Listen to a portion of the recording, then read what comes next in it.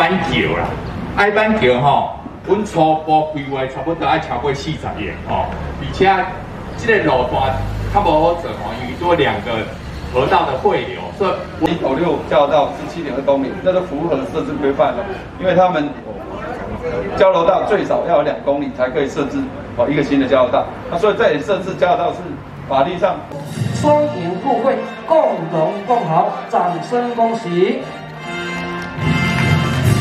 请协助互换意向书，透过两 OK，请看右前方的镜头，请看右前方的镜头，三、二、一，OK，好，也再一次的请两位县长来签署合。号交通委员会来考察我们江南大桥的一个新建，总经费要到四十亿。那在现场，我们的二水乡啊乡长跟地方师生齐心建议说，是不是利用我们张平大漳平大桥直接衔接过来，加到林内交流道啊，这个距离最短，而且效益最最大。那未来它可以从我们彰化的二水田中高铁站的衔接，来到林内，林内这边又可以衔接到南投的竹山，所以可以变成我们中部三县市的一个非常重要的一个这个区域啊交通，那造福更多的一个乡亲。那在王部长的允诺之下，我们呢也马上的跟云林县政府来做相关的联系，谢谢我们云林。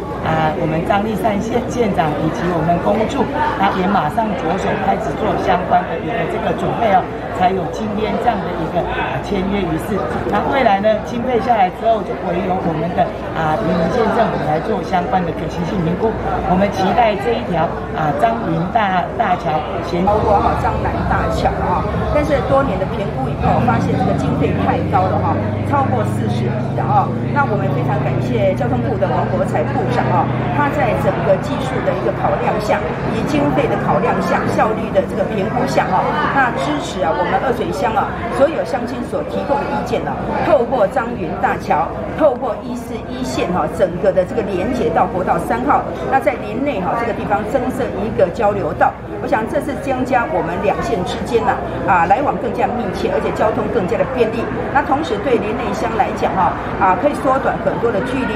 不只是要到竹。山的这个交流道，或是到斗六的交流道，当然都是会啊耽误一些啊行程了哈，甚至是向前比个赞喽，三二一，进站